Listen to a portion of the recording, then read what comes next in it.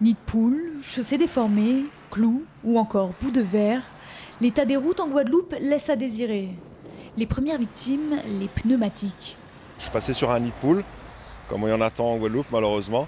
Et euh, on a, ça a tapé sur ma, sur ma roue, vu que j'ai en plus une taille basse.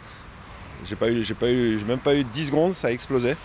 Et du coup, bah, j'ai dû me passer une bonne petite heure à démonter tout ça et à remonter. C'était un petit peu pénible. En l'espace de deux mois, ça remonte à quand même trois ans, j'ai euh, crevé euh, deux fois mes pneus euh, dans des nids de poules.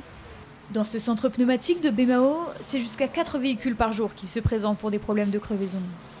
Dans ce cas précis, un clou s'est logé dans le pneu, il n'a pas explosé mais se dégonfle lentement. Pour 18 euros, avec le montage, une simple mèche suffit pour pouvoir de nouveau rouler.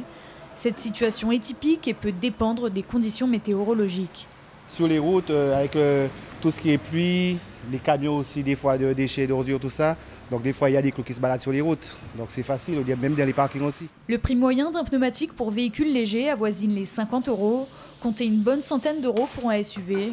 Plus qu'une crevaison, l'état des routes influe sur le véhicule de manière générale. Problème de géométrie, parallélisme ou même carrossage, il y a donc, dans la mesure du possible, certains réflexes à avoir.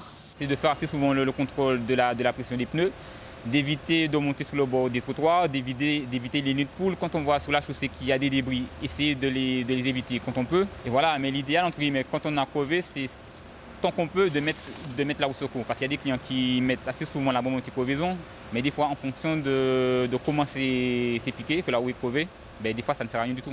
La roue de secours se situe sous la trappe du coffre. Après l'avoir desserré, utilisez le cric pour soulever le véhicule et la clé en croix pour les boulons. Enfin, mettre la roue endommagée dans le coffre et se rendre dans un centre de pneumatique.